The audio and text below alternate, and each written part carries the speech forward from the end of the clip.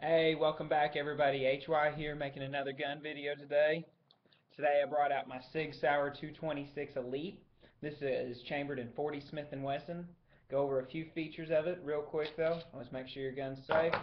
Did put an empty mag in. Gun is safe. One of the main features I do like about Sig does have a hammer drop as well too. There are no safeties on these guns like I always say with every Sig Sauer. You are the safety with them. With all their pistols. Does come standard with Picatinny rail as well too. You can mount your light, laser, other things of that nature. With this being the Elite model, you do get a few stainless features on it as well too. Your magazine release, your hammer drop, and your slide release as well as your trigger do come in stainless with it being Elite. You get a nice beaver tail grip as well too. Gives you a real nice hold on the gun. Go over a few things. It does have a little bit more of an enhanced on the butt as well too. It does give you a little bit better grip on it as well go over a few more things with this gun as well too. It is like every other SIG, single action and double action. Double action pull is about 12 pounds. It does not stack though. It is a very nice trigger pull still.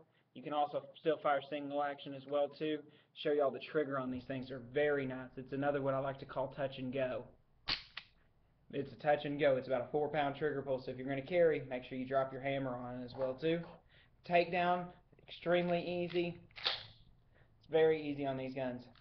Insert an empty magazine, lock your slide back. There's a little lever right here. You push that down where it's pointing down. Drop your magazine. Release your slide. Gun comes apart in two halves. Make sure whenever you clean, you get down into this groove as well too. It does like to build up down there. Make sure you clean in your magazine well. Uh, very, well, uh, very good as well too. If you did ever want to change the trigger in this, it is very easy. Just a few little pins pretty much and you can change the trigger out. Be very careful whenever you're taking this out. Right here with your spring and your guide rod. Make sure that you hold the guide rod in as you hold that. Guide rod and spring comes out. Make sure that you clean the guide rod very well, very good as well too. Barrel slides straight out. Make sure you get in your barrel clean these really good. These are match grade barrels. They do shoot very, very nice. These will actually outshoot most 1911s.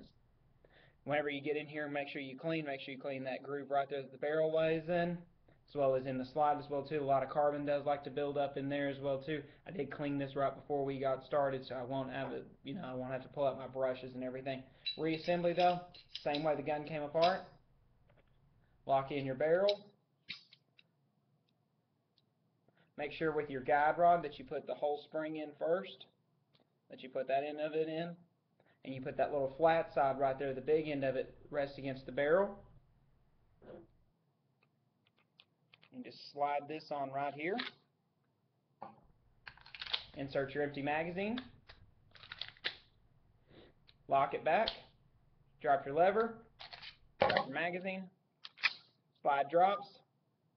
Drop your hammer. And you're done. It's very easy. The other things I wanted to go over, this does come with night sights as well too from the factory. Also comes with three factory magazines. Came with 12 round magazines. You can also get 14s as well too from the factory if you if your state allows you to have those, you can get the 14ers. They have a big bump stop on them that you can carry 14 rounds in these as well too. Uh, a few other things I do like about this, this does come with aluminum grips as well too. Does give you a very nice checkering to hold the gun. Other places they did put checkering. Y'all can see this right here on the trigger guard as well too for those of you do, who do like to hold your gun up here. They also put checkering around the grip here and on the back strap as well too. So there is checkering everywhere. A few other things I do like, they did put uh, the checkering right here on the slide as well too and up front on the slide. I don't know why you'd grab it up here, but you can as well too. Did also come with a very nice hard case. I forgot to bring it with me today, but it does come with a hard case like all other SIGs. That's one thing I do like SIG about it is they do always give you a good hard case.